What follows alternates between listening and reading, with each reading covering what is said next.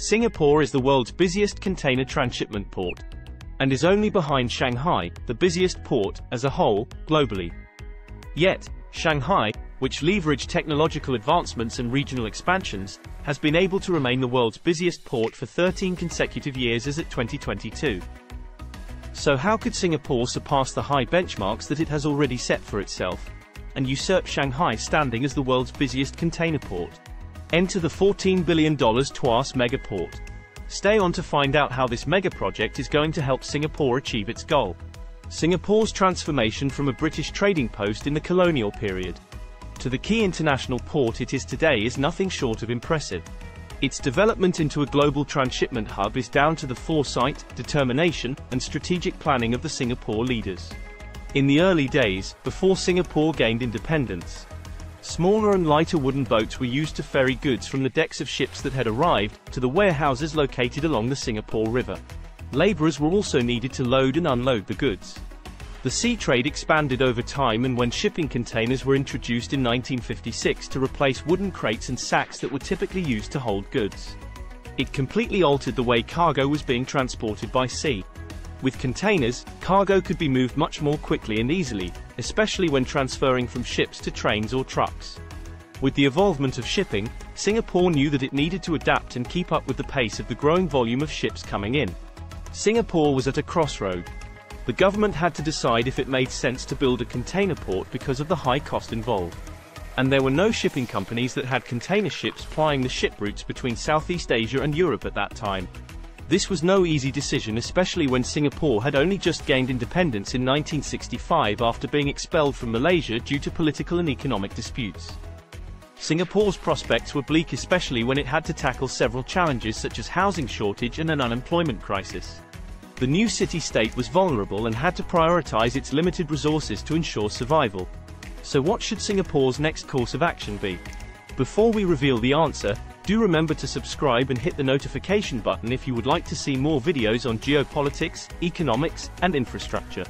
Despite the numerous issues that it had to overcome post-independence, its leaders had extraordinary foresight to recognize that this new mode of shipping using containers would be critical to Singapore's economic survival. So, in the late 1960s, Singapore took the bold step to build Southeast Asia's first container terminal at Tanjong Pagar. In 1972, it welcomed the first container ship, the MV Nihon, to its port.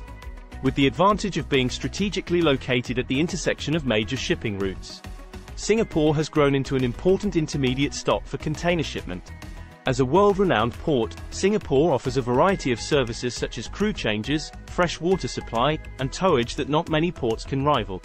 The port has also established well-connected links with over 600 ports spread across 120 countries. Each year, more than 130,000 vessels call at Singapore, with an estimate of 1,000 ships in the port at any one time. But then, the pandemic hit. Supply chains globally got congested on a scale that was never before seen. Yet, Singapore has emerged from the pandemic much stronger than its peers. In 2021, Singapore reached a record high of 37.5 million 20-foot equivalent units, or TEUs in short. With this, the nation once again retained its position as the world's busiest container transshipment port. However, the frequent lockdowns in China due to the pandemic and the Russia-Ukraine war have proven to the world how ports could easily become the bottleneck for the merchant trade worth $22 trillion. With outdated technology and capacity constraints, the inefficiencies of many ports around the world have been exposed as containers accumulate at docks. This has led to unprecedented disruption in global supply chains particularly in Asia where exporters found it difficult to ship goods to the US and Europe markets. To avoid the same supply chain issues, ports must address these inefficiencies. Although Singapore has been successful in building itself into a maritime powerhouse, it still faces stiff competition from Shanghai, which is the world's largest container port as a whole. And it is also susceptible to some of the inefficiencies described earlier. So what could Singapore do to address these pertinent issues? Singapore's solution is the Tuas Megaport, an audacious $14 billion project aimed at cementing its place as the global node in Asia. Estimated to be completed in 2040, this will be the largest automated port in the world with twice the existing capacity at 65 20-foot equivalent units. Singapore had already planned for this expansion as far back as 2013, which is a testament to the government's vision. Given the limited land, Singapore has been reclaiming land in Tuas, located on the west coast, to build the port. Once the megaport is completed, all the existing terminals, which are located in different places, will be shut down and relocated to Tuas. The first three terminals that are located in the city, namely Tanjong Pagar, Keppel, and Brani, will be closed by 2027, while the last terminal at Pasir Panjang will be closed by 2040. This consolidation of the existing capacity at the new port will provide Singapore with a competitive advantage as Tuas will be able to handle a much higher volume of container ships, which in turn lowers the unit cost of cargo. Container management will be more efficient as there is no longer a need to travel through downtown when transporting cargo between different terminals. This in turn reduces the queues formed by trucks waiting at the terminals, which was one of the key factors that resulted in the severe holdup of goods movement at the Shanghai port during the COVID-19 lockdowns. Tuas is also in proximity to many industries located in the west of Singapore, which means that industrial products can be shipped to international markets much faster and at cheaper rates. But wait till you hear about the insane technologies being deployed at the port. To improve the port's tracking and coordination of shipment and logistics, Singapore will deploy automated guided vehicles to transport containers between the yards and berths where ships are docked. A human driving a truck will lead a convoy of driverless vehicles to enter or exit the port with the help of wireless communications and sensors. Other equipment such as yard cranes will also be automated and operate on electricity.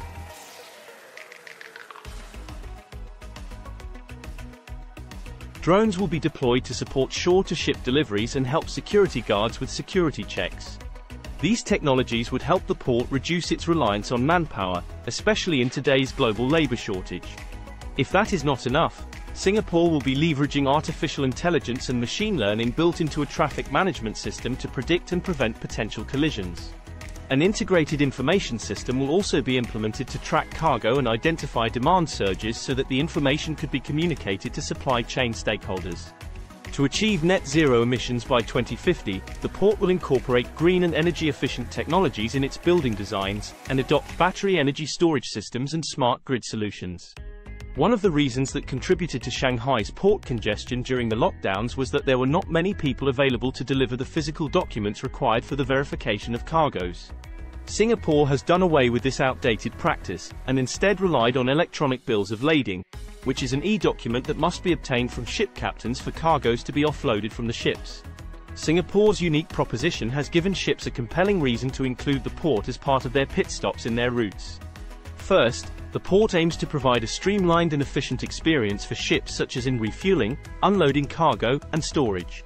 Second, unlike ports in China or the UK where congestion is more common due to the high volume of imports that need to be moved from the ships to other parts of the countries, and exports being transported to the ports, Singapore does not face similar issues as a transhipper. Lastly, the Singapore government and the unions have formed a strong working relationship built on trust and mutual respect which makes it rare for workers to strike, unlike in other countries. A most recent example is South Korea, where the country experienced a nationwide strike by unionized truckers which crippled the country's ports. Evidently, with the Tuas megaport, Singapore looks set to add the icing to the cake and put itself in a much stronger position to compete with Shanghai and other ports in China. The port will be opened in four phases. Phase 1 of the port is already completed with 21 berths ready for use. The port was officially unveiled on the 1st of September 2022, with three berths run by 500 workers. A total of five berths are expected to be in operation by end of 2022. Despite the smart technologies deployed and the use of a data-driven approach to managing operations, Singapore believes that human capital remains critical to delivering quality service. It is with this in mind that Singapore has sought to upskill and reskill the workforce so that workers can take on higher value job roles created by the digital transformation of the port. For example, a crane operator could be retrained to control a crane remotely from a control room instead of being physically up in the crane. Thousands more jobs are expected to be created for the maritime industry with the new megaport.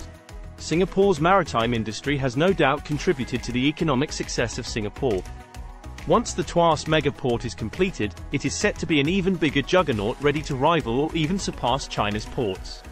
But did you know that Singapore is just as well designed and easily beat cities such as New York and Hong Kong? To find out why Singapore is so insanely well designed, watch this video here. And if you are keen to watch more videos, do check out the links in the description below.